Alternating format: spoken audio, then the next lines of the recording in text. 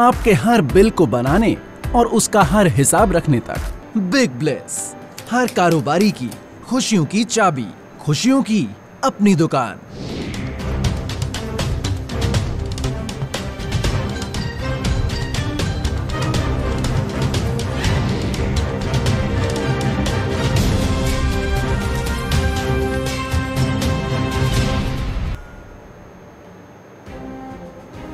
प्रमुख तिलहनी फ़सलों में से एक, सोयाबीन पर। दुनिया के कई देशों में मौसम की मार पड़ी है। इसकी वजह से उत्पादन में कमी हो गई है, जिसका असर भारत पर भी पड़ना तय है, क्योंकि हम तिलहन फ़सलों में अब भी आत्मनिर्भर नहीं हो सके हैं। इसलिए हर साल करीब सत्तर हज़ार करोड़ रुपए का खाद्य तेल आयात करते हैं, जिसमें पाम ऑयल के बाद दूसरे नंबर पर सोयाबीन का तेल ही होता है। रूस यूक्रेन युद्ध की वजह से सूरजमुखी और उसके तेल की आवक नाम मात्र की रह गई है। इसलिए हमारी निर्भरता पाम ऑयल और सोयाबीन पर ज़्यादा है।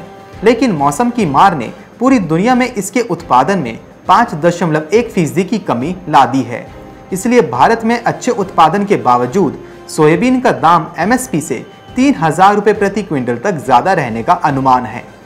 मौसम की मार के कारण सोयाबीन उत्पादन में कमी का यह अनुमान यूएसडीए के डब्ल्यू के हवाले से लगाया गया है। इसके अनुसार, चीन के सोयाबीन उत्पादन में 2021 के मुकाबले साल 2021-22 में सबसे अधिक 16.3 फ़ीसदी की गिरावट है। दुनिया के सबसे बड़े सोयाबीन उत्पादक ब्राज़ील में 11.1 फ़ीसदी उत्पादन कम रहने का अनुमान है। तो वहीं अर्जेंटीना में सोयाबीन का उत्पादन 9.1 फ़ीसदी कम रहने का अनुमान लगाया गया है।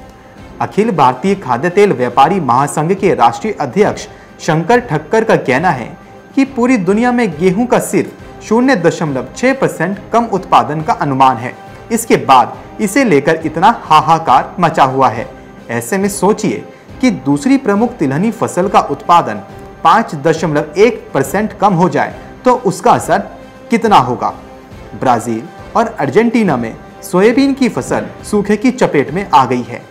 उनका कहना है कि सोयाबीन उत्पादन में कमी की अनुमान की वजह से इसके तेल का दाम ऑल टाइम हाई पर है। कोरोना काल में कमी की अनुमान की वजह से इसके तेल का दाम ऑल टाइम हाई है। कोरोना काल से पहले, यानी 2020 की शुरुआत में सोयाबीन के तेल का थोक भाव प्रति लीटर 55 से 60 रुपए था, लेकिन इस साल यही एक सौ लीटर तक पहुँच गया है। वर्तमान में भी इसका भाव एक रुपए लीटर है। अंतर्राष्ट्रीय हालातों की वजह से भारत में सोयाबीन का दाम करीब सात हज़ार रुपये प्रति क्विंटल तक बना रह सकता है। इसकी एम एस पी तीन हज़ार नौ सौ पचास रुपये प्रति क्विंटल है। कई मंडियों में अब भी यही दाम चल रहा है।